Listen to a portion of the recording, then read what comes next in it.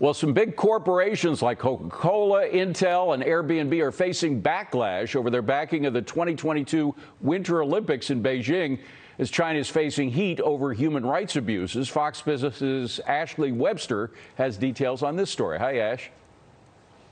Hey there, David. Listen, the Beijing Winter Olympics could provide some major pitfalls for U.S. Olympic sponsors who have remained mostly quiet about China's human rights record, including the abuse of Uyghur Muslims and the suppression of pro-democracy protests in Hong Kong. The Biden administration, along with other countries such as Japan, Canada, Australia, the U.K., and New Zealand, have joined a diplomatic boycott that bars senior officials from attending the Games. Critics call that a toothless response. But corporate giants like Procter & Gamble, Coca-Cola, Intel, Visa, and Airbnb, to name just a few, are gambling basically that Americans won't care and their brands will suffer no reputational damage. But human rights groups accuse those Olympic sponsors of prioritizing profits and access to the Chinese market over principles. Take a listen. These companies are in the spotlight in exactly the way they didn't want to be.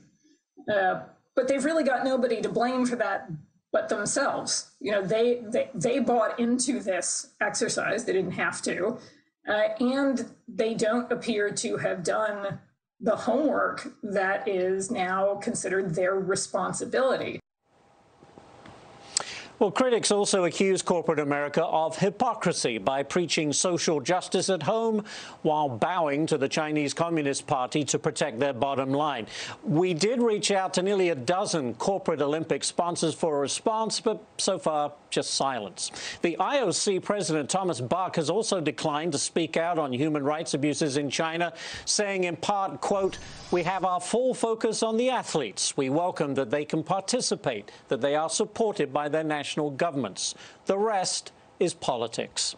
And it is the politics of China that is generating growing dissension and calls for a boycott, even as U.S. athletes are being told to use burner phones during the Games for fear of Chinese hacking. But sponsors apparently are only interested in the really big prize, the Chinese consumer.